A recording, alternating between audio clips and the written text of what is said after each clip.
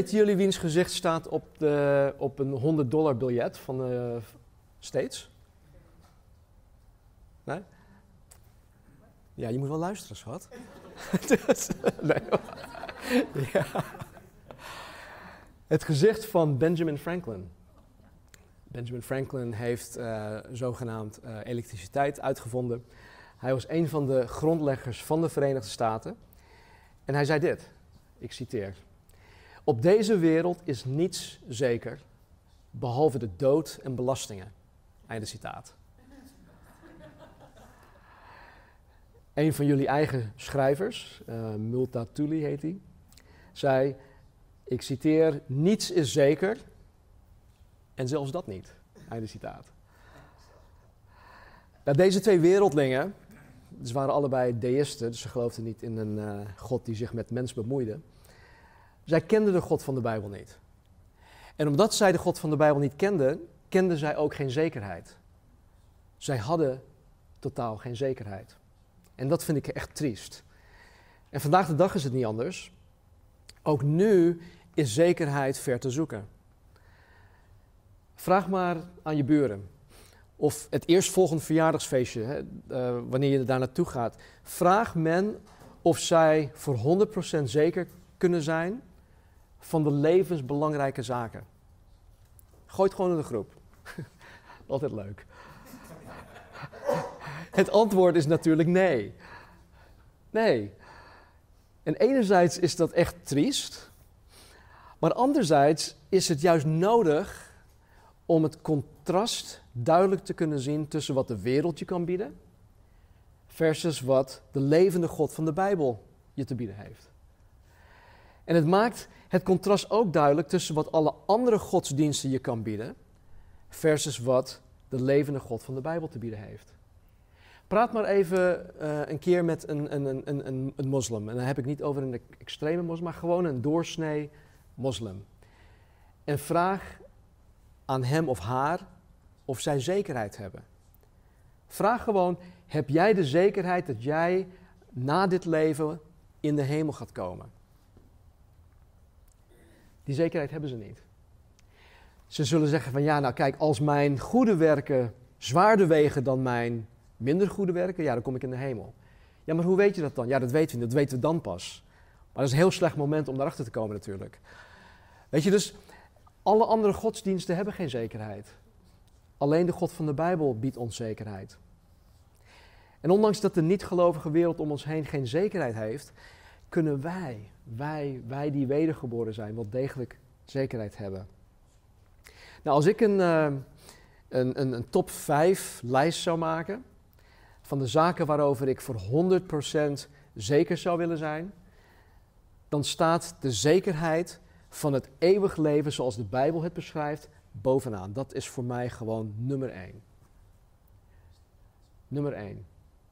Want als ik niet zeker was van mijn eindbestemming, waarom zou ik mezelf dan verlogenen, zoals Jezus Christus dat van me vraagt? Waarom zou ik mijn kruis opnemen? Waarom zou ik sterven aan mezelf? Wat Jezus van mij vraagt. Waarom zou ik uh, een onzichtbare God, die ik nooit eerder gezien heb, navolgen? Waarom zou ik mijn leven aan deze onzichtbare God opofferen? En dan niet alleen voor hem, maar ook voor zijn kinderen, enzovoort. Als ik die zekerheid niet had, ja, dan zou ik zeggen, zoals er in, uh, in, in, in Prediker ook staat: neem rust, eet, drink en wees vrolijk. Neem rust, eet, drink en wees vrolijk. Oftewel, lang leven de lol. Maar het is juist omdat ik er voor de volle 100% zeker van ben dat ik het Bijbels eeuwig leven bezit, dat ik mijn tijdelijk leven nu hier op deze vergankelijke aardbol kan weggeven. Het is omdat ik die zekerheid heb dat ik mijn leven nu kan weggeven. Voor de wedergeboren christen is het dus van essentieel belang om deze zekerheid te hebben, want het bepaalt alles. Die zekerheid bepaalt alles in mijn leven. Wat ik doe, waar ik aan denk, hoe ik ochtends opsta, hoe ik, hoe ik s'avonds naar bed ga. Het bepaalt alles en alles daartussenin. En vandaar dat Johannes in deze brief schrijft: Deze dingen heb ik geschreven, dat is een van de vier hoofdredenen, aan u die gelooft in de naam van de Zoon van God, opdat u weet dat u het eeuwige leven hebt. Het is belangrijk voor God dat wij die zekerheid hebben. Het is belangrijk voor ons dat wij die zekerheid hebben. Nou, Johannes schrijft deze brief, zoals alle andere schrijvers van de Bijbel, onder de leiding en de inspiratie van de Heilige Geest. En Johannes gebruikt specifieke woorden. Casper had vorige week ook verteld dat, uh, dat Johannes juist wegens de achtergrond van gnosticisme en de, de huidige staat van de kerk van die tijd, die tijd, dat Johannes juist hele specifieke woorden gebruikt. En één zo'n voorbeeld is dit. Hij gebruikt uh, twee Griekse woorden voor het weten. En één is, of het eerste woord is ginosko. Staat dat hier of niet? Nee.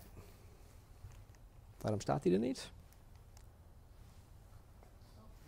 Hey, komt die? Ja? Ja, oké, okay, ginosko. Dat geeft niet. Geef niet, ik vergeef het je. Nou, het eerste woord is dus ginosko. En dat betekent te weten komen. Of iets leren kennen. Het, betekent, het is dus het proces van het te weten komen of het proces van het leren kennen. Dat is een werkwoord. En Johannes gebruikt dit woord om de valse leer van de gnostieken te bestrijden. Dit, ginosko, krijgt men door middel van praktische ervaring. Dus het is kennis en, en, en, en het weten dat men opdoet door dingen te ervaren, door iets um, te krijgen. De gnosis, oftewel de kennis die de gnostieken beweerden te hebben, kregen zij op een, een zo mystieke wijze. En dat was alleen bestemd voor, uh, voor ja, vergevorderde mensen, die dus echt een heel hoog niveau van geestelijkheid hebben bereikt die waren ook echt, die, die zweefden ook. Niet letterlijk, maar hier zo. In de 105 versen van deze brief gebruikt Johannes dit woord 25 keer. Nou, het tweede woord is oida. En dat betekent zeker weten of door en door kennen. Het betekent verstaan, het betekent doorgronden, het betekent doorzien, en dit soort kennis, die OIDA-kennis, hoeft niet per se opgedaan te worden door middel van een leerproces. Het kan, maar het hoeft niet per se op die manier opgedaan te worden. Dit soort kennis kan ook intuïtief zijn. Oftewel, je weet het gewoon. Je hebt geen bewijs, maar je weet het gewoon. Bijvoorbeeld, ik had het zo net ook al gelezen, in, in, in, in uh, hoofdstuk 5 vers 13 staat dat als ik uh, als wedergeboren christen uh, dat ik dus, ik kan weten, ik kan oida, ik kan zeker zijn dat ik het eeuwig leven heb. Heb ik het eeuwig leven ooit waargenomen? Ben ik ooit naar de eeuwigheid geweest? Kan ik op een tastbare manier bewijzen dat het eeuwig leven überhaupt bestaat? Nee, natuurlijk niet. Maar ik weet, ik oida, voor 100% zeker dat ik het eeuwig leven heb. Is dat omdat ik zweverig ben of dat ik met mijn hoofd in, in de wolken zit?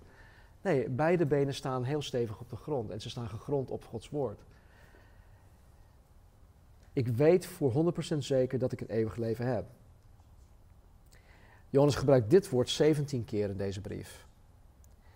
Door de zorgvuldigheid in het gebruik van deze woorden, onder andere deze twee woorden, is het mij duidelijk dat de Heilige Geest en Johannes willen dat wij die wedergeboren zijn toch echt zeker kunnen weten uh, wat van levensbelang is. Wat eeuwigheidswaarde heeft. De vraag dat Johannes door middel van de negen zekerheden van de echte christen beantwoordt is dit. Hoe kan ik zeker weten dat ik een echte christen ben en dat ik een eeuwig leven heb? Deze brief beantwoordt die vraag. En het is een belangrijke vraag. Dan laten we samen gaan kijken naar de, de negen dingen die ons uh, zekerheid kunnen geven. Uh, nummer 1. Hebben jullie hem gevonden? Roep maar wat hoor. Het hoeft niet per se in, die volgorde, maar de, de eerste. 2, 3, yes, ik hoor het. Oké. 1 Johannes 2, vers 3. Er staat: Hierdoor weten wij dat wij Hem kennen. Namelijk als wij Zijn geboden in acht nemen. En het weten dat hier gebruikt wordt, is, dat is de gnosco-weten. Het is een leerproces. Weet je dat, dat Jezus Christus kennen is hetzelfde als Hem liefhebben. Als ik zeker wil weten dat ik Jezus echt ken, dan zal dat blijken door de liefde die ik voor Hem heb. Waarom zeg ik dat? Omdat Jezus dit zelf ook zei. In Johannes, in het Evangelie van Johannes, hoofdstuk 14, vers 21, zegt Jezus dit. Wie mijn geboden heeft en die in acht neemt, die is het die mij lief heeft. Dus dat, dat valt samen met wat hier ook staat. Wie mijn geboden heeft en die in acht neemt, die is het die mij lief heeft. Dus door zijn geboden in acht te nemen, toon ik niet alleen aan dat ik Jezus persoonlijk aan het leren kennen ben, want het is dat gnosco-proces, ik ben hem aan het leren kennen, maar dat ik hem steeds meer ga liefhebben, wat ook een proces is. Het is niet zo dat je op het moment dat je tot wedergeboorte komt, ineens heb je 100% liefde voor Christus. Nee, die liefde die groeit. En dat bewijst zich door onze daden, daar komen we zo meteen nog op terug. Het in acht nemen um, is afgeleid van het Grieks werkwoord dat bewaren betekent. En hier komt het bewaren neer op het behouden van het onderhouden, het naleven, het gehoorzamen van Jezus geboden. Wanneer wij aan, aan Gods geboden denken, vraag het maar aan elk willekeurig mens. Het eerste wat ze noemen is de tien geboden. Ja, toch? De tien geboden. Maar wanneer wij aan Gods geboden denken, moeten wij het niet beperken tot die tien geboden. De geboden die, die ik als wedergeboren christen hoor te bewaren, zijn vooral te vinden in de vier evangeliën waarin Jezus ons specifieke geboden geeft. Niet elk gebod dat hij geeft is, is voor mij, uh, op mij van toepassing. Sommige zijn alleen voor Israël. Sommige zijn alleen voor die tijd voor die mensen. Maar veelal de geboden van Christus in, in de vier evangeliën, daar hoor ik acht op te slaan. Deze geboden zijn ook te vinden in de brieven van Johannes, van Paulus, van Petrus, van Jacobus en van Judas. Dat zijn de schrijvers van het Nieuw Testament. En de vier schrijvers, ehm, of de vijf schrijvers, ehm, nee sorry, de vier schrijvers van uh, de, de, evangeliën, die, ehm, die geven ons dan de geboden van Jezus als citaat. In de Engelse Bijbel staat het heel mooi dat alle woorden van Jezus in het rood staan. Maar de, de schrijvers van de brieven in het Nieuw Testament geven ons de geboden van Jezus door. Die hebben het van Jezus ontvangen en die geven het door. En in elke brief van het Nieuw Testament staan expliciete geboden voor ons. Even verderop in, in de brief van Johannes staat dat de geboden van Jezus Christus niet zwaar zijn. Ik zal het even opzoeken.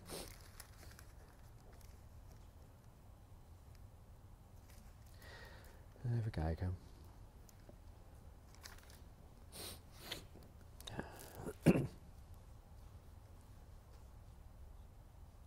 Nee, ik kan hem niet even vinden.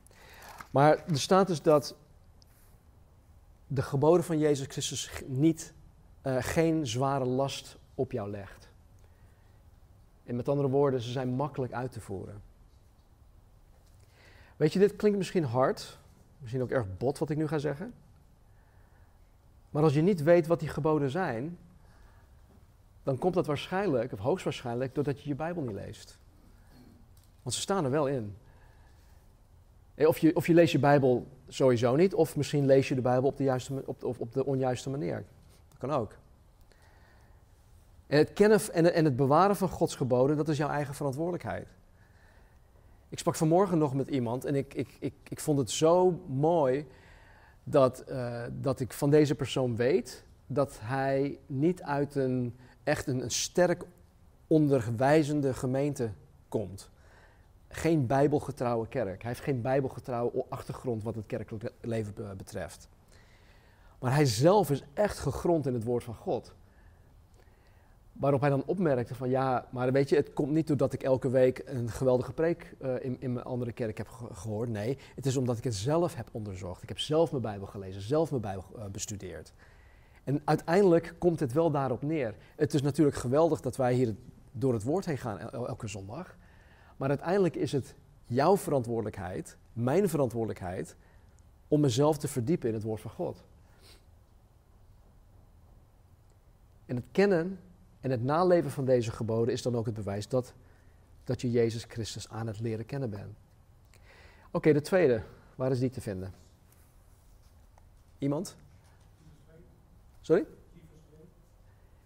Um, even kijken. Twee, ja, 2,5. Ja, 2,5. Laten we daar uh, nog even naar kijken.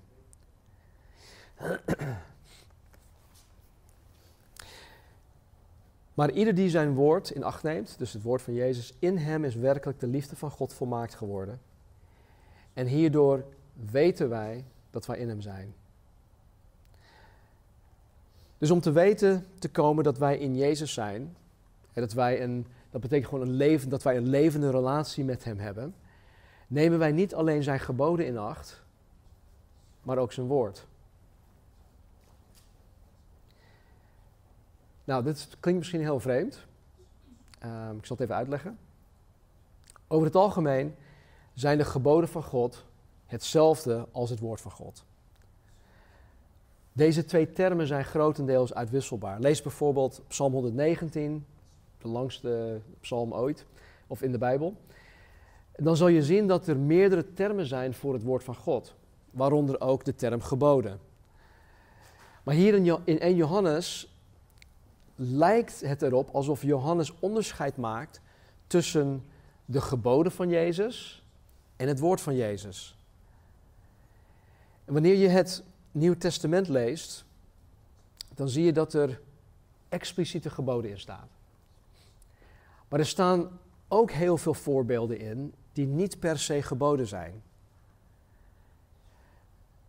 Bijvoorbeeld in, uh, in 1 Timotheus 2, vers 4.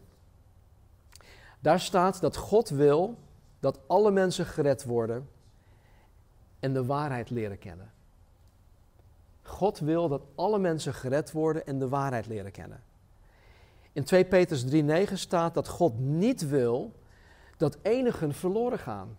God wil niet dat mensen verloren gaan, maar dat allen tot bekering komen. Dit is Gods verlangen. En wij zien dit als een rode draad door de Bijbel heen. Dat God wil dat mensen gered worden en hij niet wil dat mensen verloren gaan. Nou, in deze twee versen, wat ik net genoemd heb, staan geen expliciete geboden. Maar ze laten ons wel Gods hartsverlangen zien. Het laat mij zien wat God verlangt, wat in zijn hart ligt. En als ik deze dingen van God weet, dan zal ik actief op zoek gaan naar gelegenheden waar ik mensen bekend mag maken dat God hun wil redden. Dat God niet wil dat zij verloren gaan. Dat God juist wil dat zij tot de kennis van de waarheid komen. Je kunt dit principe vergelijken met het volgende. Stel, stel dat, dat Jantje na school thuiskomt. En zijn moeder zegt tegen hem dat hij al het huisafval moet gaan verzamelen, het in de afvalcontainer moet zetten en dat hij dan de afvalcontainer aan de straat gaat zetten. Nou, om zijn moeders, laat ik het even gebod noemen, om zijn moeders gebod te gehoorzamen, doet hij wat hem opgedragen wordt. Dat is een goede zoon, toch? Maar stel, stel dat Jantjes moeder ehm, op een gegeven moment met haar bestie, haar beste vriendin, aan de telefoon is. En de moeder zegt tegen haar beste vriendin dat ze zo moe is, ze is gewoon doodmoe. En dat zij hulp nodig heeft met het huishouden. Zij zegt dat niet tegen Jantje, ze zegt dat tegen haar beste vriendin aan de telefoon. Maar Jantje hoort zijn moeder dat tegen haar beste vriendin zeggen.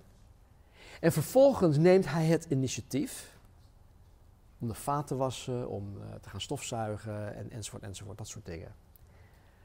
Jantje doet dit niet omdat hij dit opgedragen krijgt, maar omdat hij van zijn moeder houdt. Jantje wil niet alleen zijn moeder gehoorzamen wanneer zij hem, iets, wanneer zij hem iets gebiedt, maar hij wil ook haar, haar woord in acht nemen, wat zij denkt, wat zij spreekt. Snap je dus? Het is niet alleen de expliciete geboden waar ik me aan moet houden, dat zeker.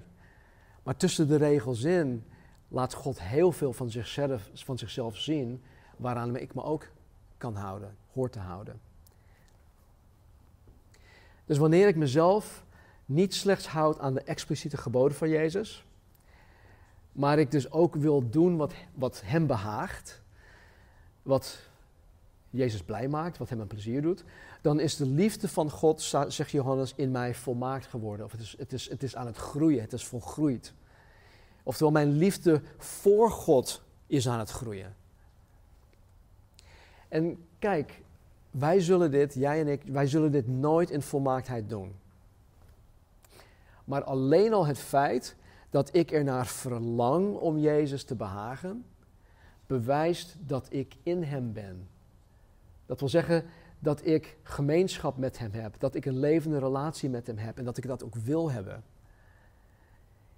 In het hoge priesterlijk gebed van, van, van Jezus in uh, Johannes hoofdstuk 17 heeft hij het over een hele intieme relatie. Hij zegt dat, dat de Vader in hem is en hij in de Vader is. En dat hij in de discipelen uh, zijn, is en dat de discipelen in hem en ook in de Vader is. Dat in hem en in ons dat blijven, dat, dat, dat betekent eigenlijk alleen maar dat, heel simpel gezegd, God wil gemeenschap met mij hebben. Als, als er staat, hij blijft in mij, dan heb, heeft God met mij gemeenschap. En als ik in hem blijf, dan is dat wederzijds. Dan hebben wij allebei gewoon die innige relatie met elkaar. Die levende relatie. Oké, derde. Hoofdstuk 3. Ik zal het je makkelijk maken. 3.14. Oké, 3.14. Wij weten dat wij zijn overgegaan uit de dood in het leven, omdat wij de broeders lief hebben. Wie zijn broeder niet lief heeft, blijft in de dood. Nou, alleen in dit vers, van de negen zekerheden, gebruikt Johannes het werkwoord oida.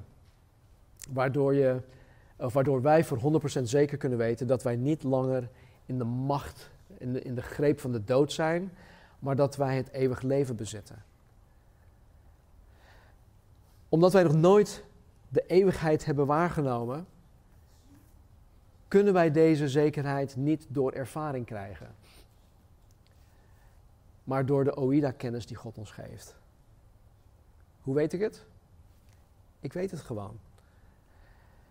Het tastbaar bewijs daarvan zit wel in het feit dat de wedergeboren christen die het eeuwig leven bezit, geen haat meer heeft in zich.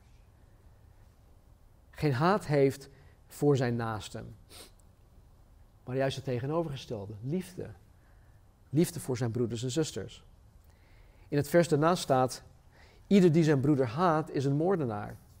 En u weet dat geen moordenaar het eeuwig leven blijvend in zich heeft. De apostel Paulus schrijft in, uh, in Titus hoofdstuk 3, vers 3 over niet wedergeboren, eh, over niet wedergeboren uh, mensen. En zegt dat zij hatelijk zijn en elkaar hatend. Dus haat, elkaar haten, gehaat worden, dat is in de wereld de, de normaalste zaak. Je hoeft niet ver te, te, om je heen te kijken om, om deze haat waar te nemen. Ik hoor van sommige buren dat, dat, ze, dat sommige buren gewoon al 25 jaar lang geen contact meer hebben met bepaalde familieleden. En dat ze ook zeggen van, nou die persoon is dood voor mij. Weet je, en, en dat, dat kan dus niet in de wedergeboren christen.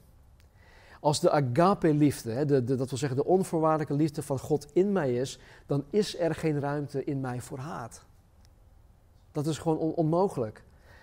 Zoals we vorige keer ook hadden gezien, licht en duisternis kunnen niet wat?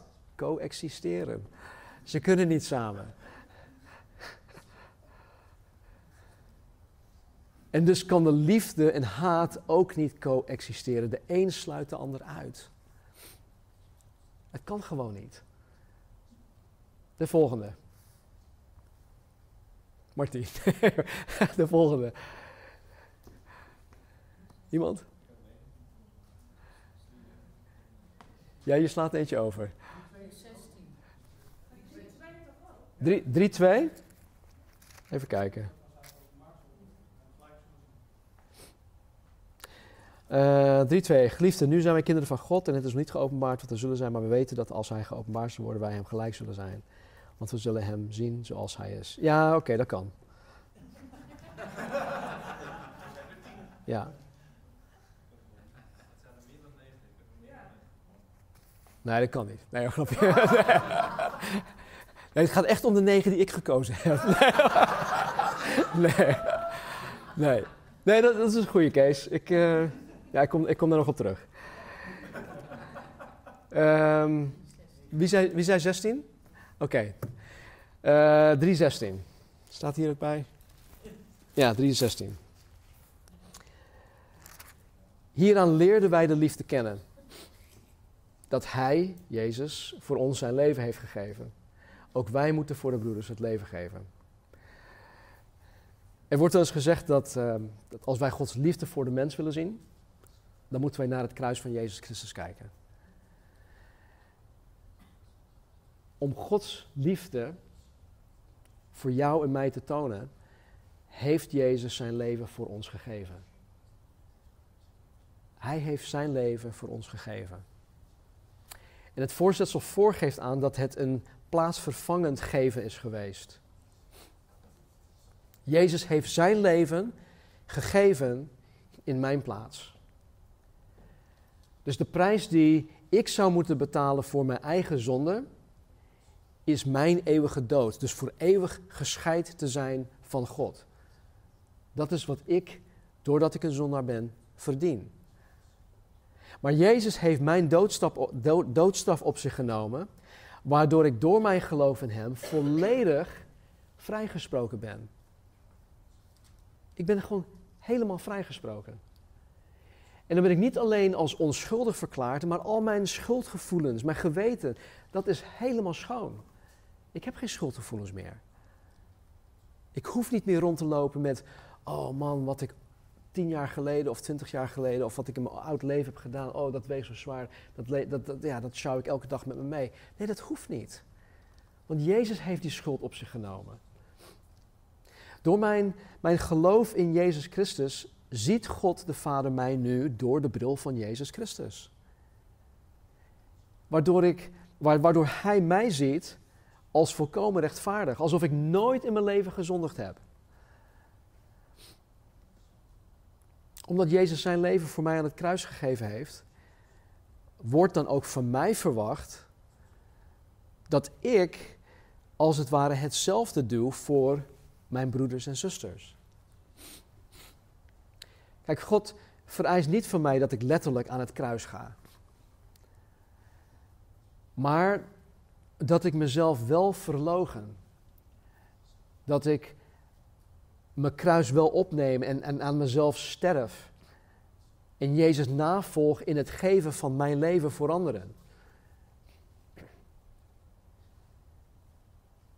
Kijk, de eerste van de vier redenen voor het schrijven van de brief is dat onze blijdschap volkomen wordt. Hoofdstuk 1, vers 4. De weg naar die volkomen blijdschap is niet door zelfzuchtig of egoïstisch te zijn, maar juist door je leven in te zetten voor anderen, op anderen gericht te zijn. De humanistische wereld zegt dat als ik blij wil zijn, dan moet ik ten eerste aan mezelf denken. Dan moet ik mijn leven vooral gaan inrichten zodat ik, zodat ik op de voorgrond sta, zodat uh, mijn leven om mij draait, dus zodat mijn leven om mijn geluk draait. Ik had onlangs een gesprek met iemand die nog niet gelooft. Die zit in de psychiatrische molen. En het enige wat hij elke keer te horen krijgt, je moet nu echt aan jouzelf denken. Je moet echt aan jezelf gaan denken. Je moet nu echt voor jezelf gaan kiezen. Dat gaat dwars tegen de manier en de weg van Jezus Christus in. We spraken jaren geleden een, uh, een wat oudere vrouw in, uh, in, in Oostenrijk op de missionsconferentie. En die mevrouw die, um, die was daar, die was daar aan het dienen in de keuken, die was uh, de, de, tijdens ontbijt, lunch en, en, en dinner. En ze was gewoon heel onzelfzuchtig aan het dienen. We raakten met haar in gesprek en het bleek dat zij een paar maanden daarvoor haar man had verloren. Haar man was overleden.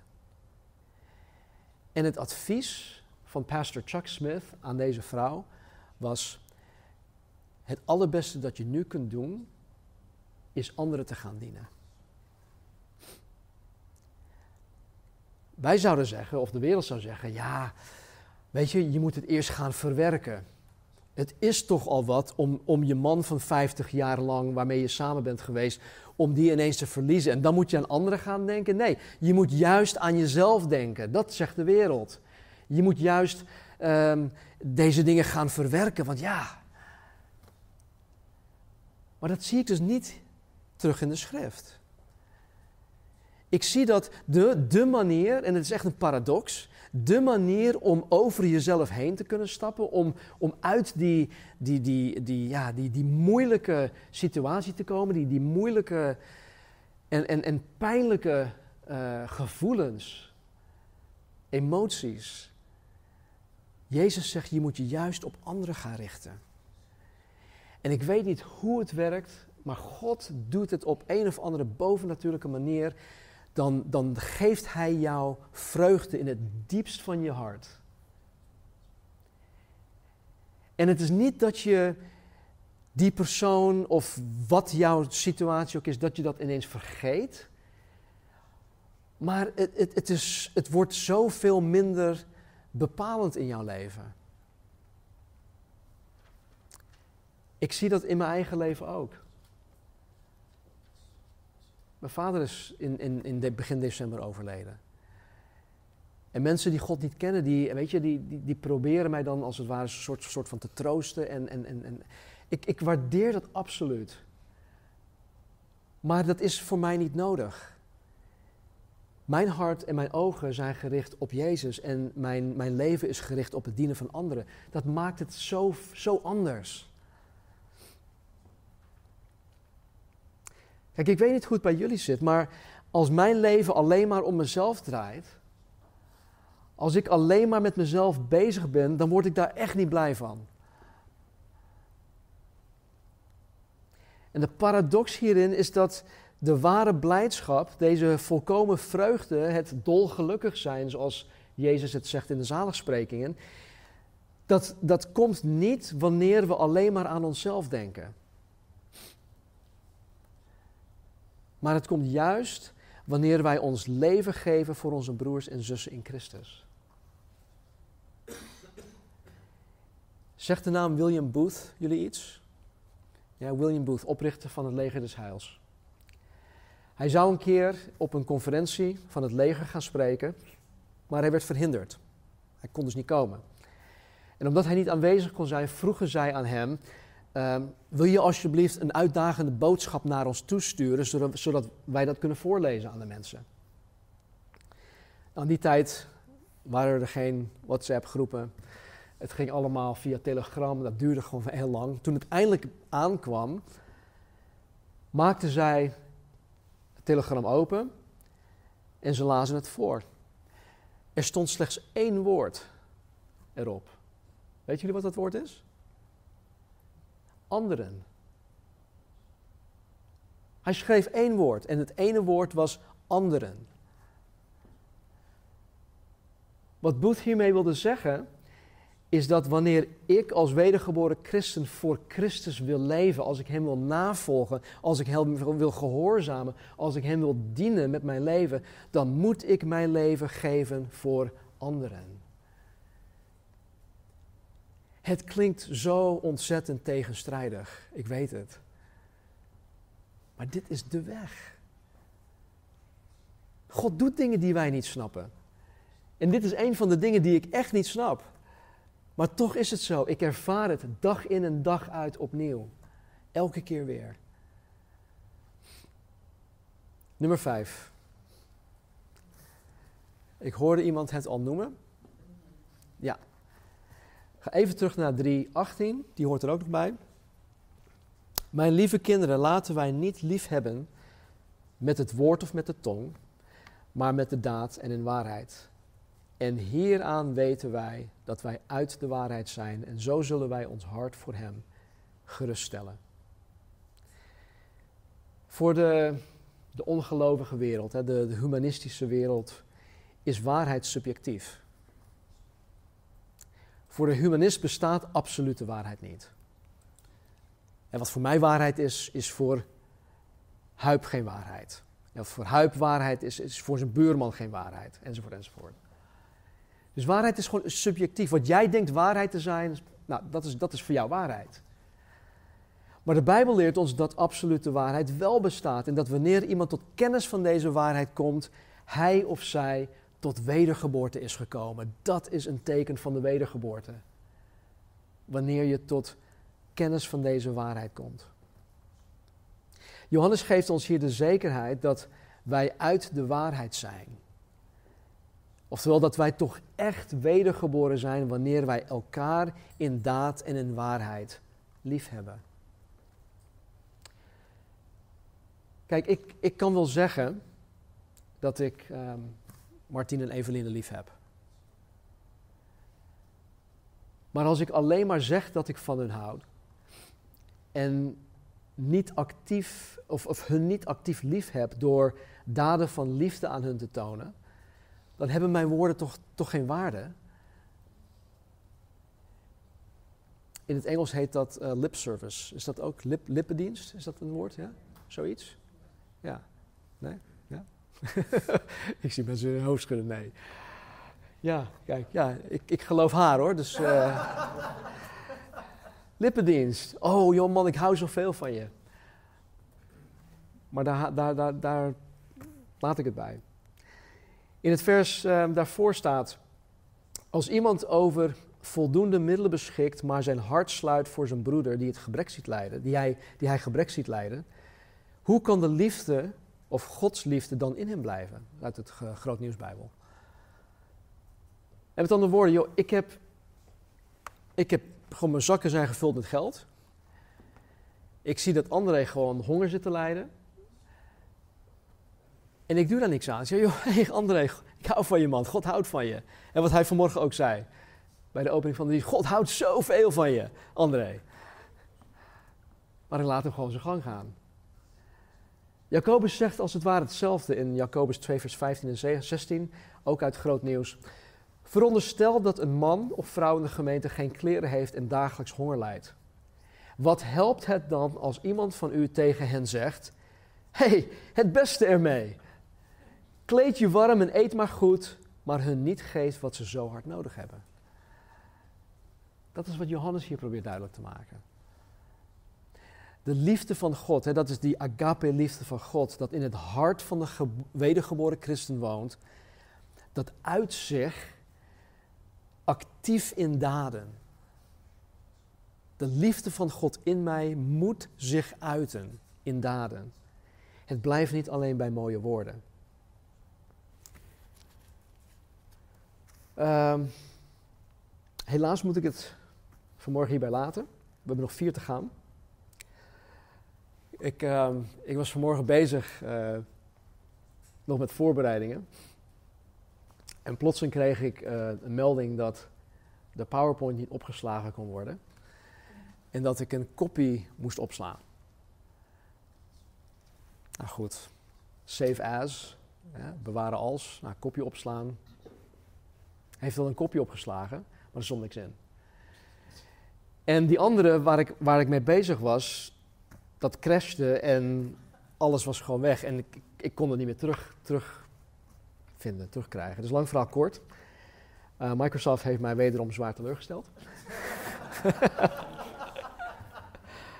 ik moest in één keer ehm, ja, met, met, heel veel druk op mijn uh, elf nieuwe slides opnieuw gaan maken. Waardoor ik dus vandaag ook niet alle negen punten heb, goed heb kunnen voorbereiden. Um, grotendeels mijn, mijn, fout, want ik was de hele week liep ik al achter en ik had het al veel eerder klaar moeten hebben. Maar uh, mijn excuses daarvoor. Um, maar goed, het is wel goed om Microsoft gewoon de schuld te geven. Aanstaande zondag is het Pasen. Uh, daar gaat Casper voor. Uh, wij pakken dit op de zondag daarop, 8 april, op. mocht je de laatste drie zekerheden nog niet gevonden hebben, dan heb je nog twee weken de tijd. Als je het niet weet, vraag het aan Martien. Mannen, als je getrouwd bent, doe het samen met je vrouw. Het is echt, echt een zegen om dit samen te doen. Um, je leert niet alleen um, dingen samen doen, vooral Bijbellezen samen doen, maar je leert ook van elkaar. Nou, tot slot dit. Gods wil voor mij als wedergeboren christen is dat, is dat mijn blijdschap volkomen wordt. God wil dat ik blij ben. God wil dat ik innerlijke vreugde heb. En dan, dat betekent dus niet dat ik gewoon continu uh, loop te springen van blijdschap en, en halleluja dit en dat. Nee, maar al, al, al ben ik verdrietig, al ben ik zo teleurgesteld, al heb ik zoveel hartzeer, dan kan ik nog steeds diep in mijn binnenste vreugde hebben. Want de vreugde die God mij geeft, dat is een geestelijk iets. Dat is niet afhankelijk van de omstandigheden. Het is een constante in mijn leven. Het is een constante die God ons wil geven. Dus Gods wil voor mij, voor jullie als wedergeboren christen, is dat onze blijdschap, blijdschap voorkomen wordt. Het is ook Gods wil voor ons dat, dat wij steeds minder gaan zondigen. Dat wij niet misleid worden door valse leer. En dat, ik voor, of dat wij er voor de volle 100% zeker zal zijn, of zeker zou kunnen zijn, van onze redding en dat wij eeuwig leven hebben. De vijf zekerheden die wij doorgenomen hebben vanmorgen, zullen aan alle vier van deze zaken bijdragen. dus de vijf dingen die we doorgenomen hebben, die zullen ervoor zorgen, als we het eigen maken, die zullen ervoor zorgen dat wij blijdschap zullen gaan ervaren dat wij steeds minder gaan zondigen. Dat wij um, niet misleid gaan worden door valse leraar. En dat wij die zekerheid hebben. Dat wij het eeuwig leven hebben. Dus maak deze dingen jezelf eigen.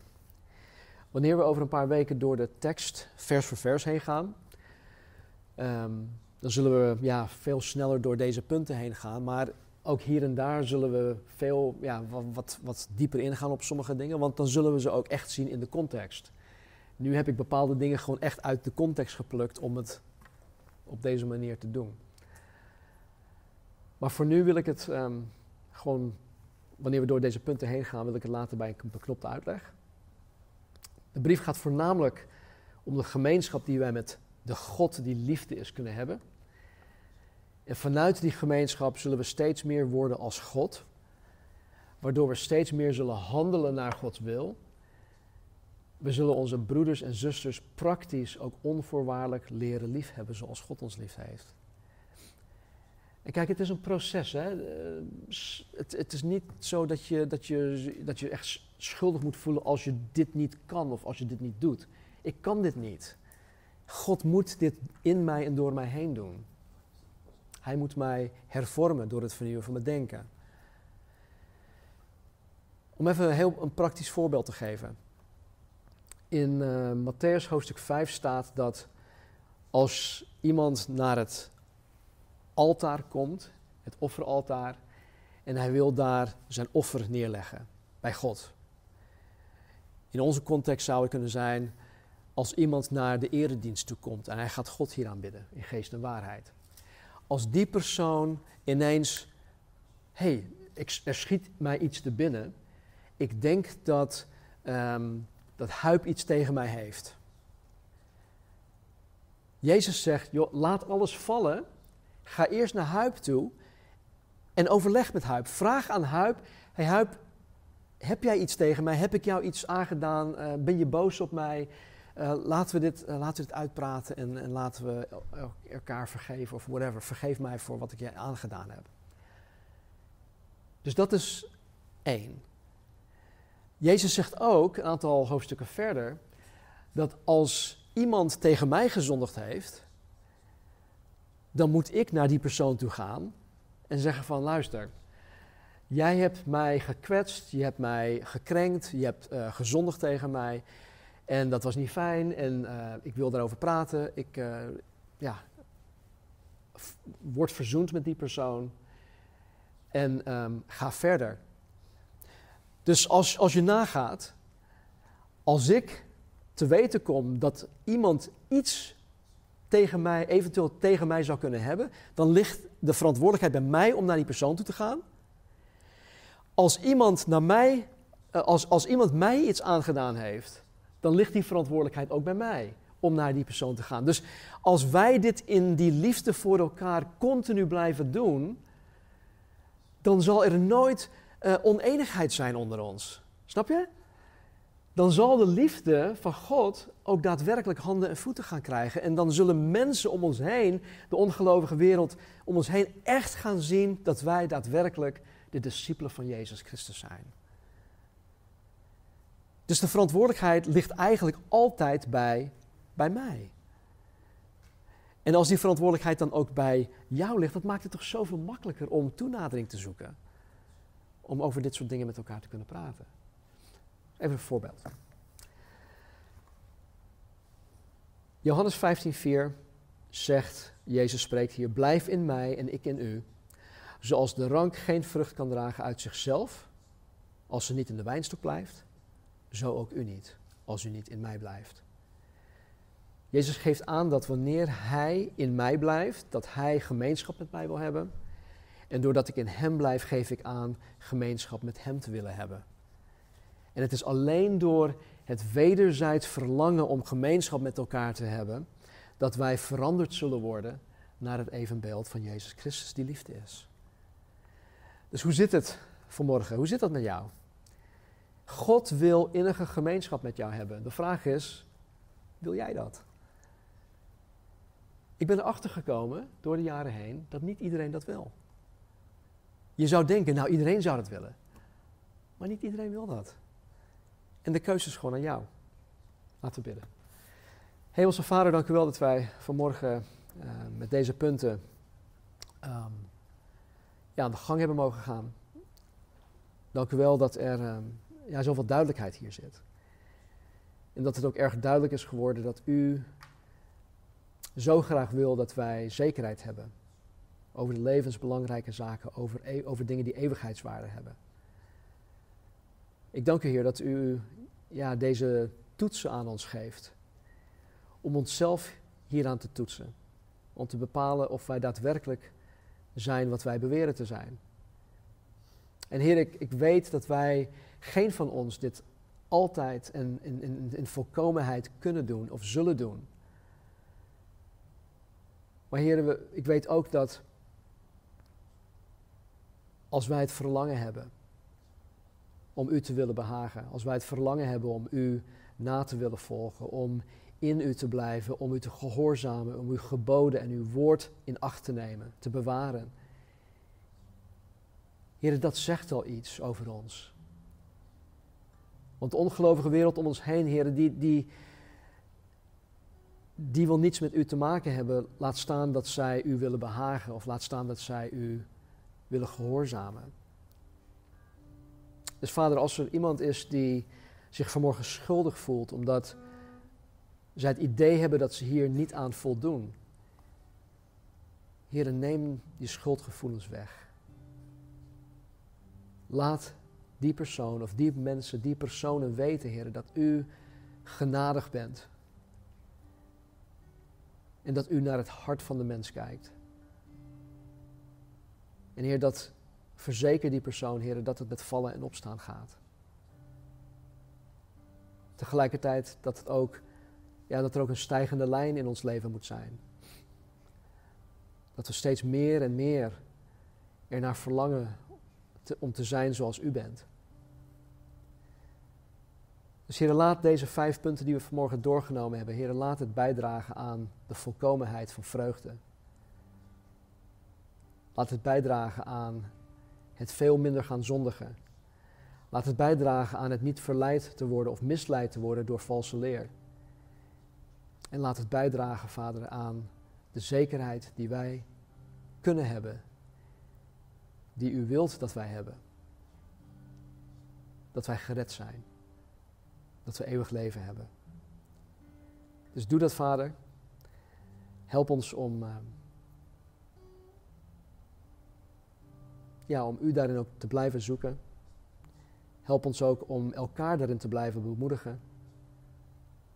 Om ook echt navraag te doen. En Heer, wanneer we een moment nemen voor gebed, bid ik Heer dat u ook uh, ja, beweegt onder ons. Dat u mensen ertoe beweegt om, om gebed te vragen. Het is niet eng, het is niet vreemd, het zegt ook niets over, over jou als persoon, dat men denkt van, dat je zwak bent. Dus wees vrijmoedig daarin. Dank u wel, Heer. In Jezus' naam bidden wij. Amen.